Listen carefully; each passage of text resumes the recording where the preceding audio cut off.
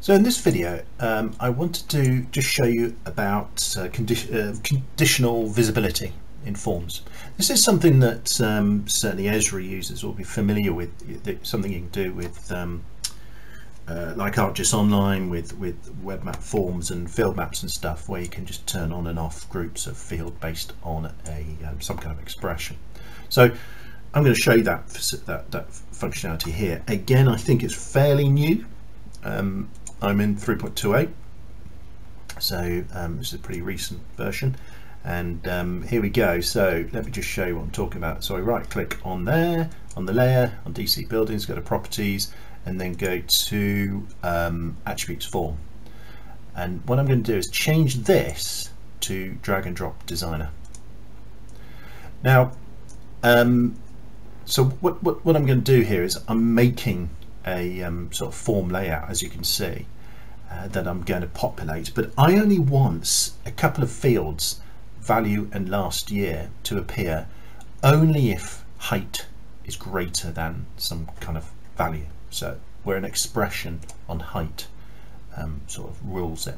So I'm going to drag value index into here as well and last year index. So those two are in there. So I'm going to say plus. So we'll call this my grouped um, fields. Uh, press OK, it's just one selection. And now I'm going to drag value index into there and last year index into there. See, so I've got this thing called my grouped fields. Now, when I select anything on, on here, you get all the options on the right hand side here. So I'm going to select my group. So you see how I've got this group here. Yeah. So I'm going to select my um, uh, group fields, that, that top sort of title, the group name, and I'm going to set the control visibility by expression. So I'm going to say where height let's say equals 11 yep. So what I'm saying is that don't show anything unless the height value there is set to 11 a couple of other options to set styles and stuff you can play around with those if you like. Now let's press ok. Right.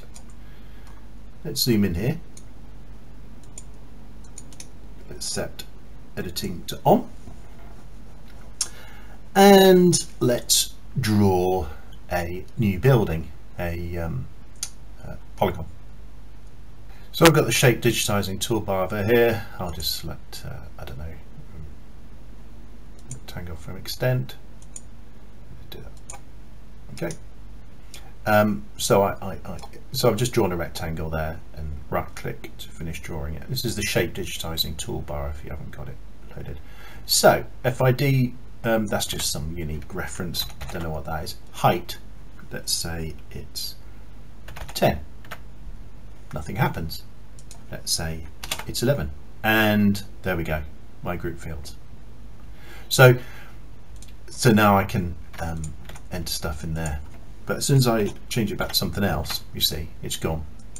So that's what um, the conditional visibility does for you. You can create these groups and turn them on and off based on values that you've entered in previous attributes. So again, nice feature, and I think it's pretty new.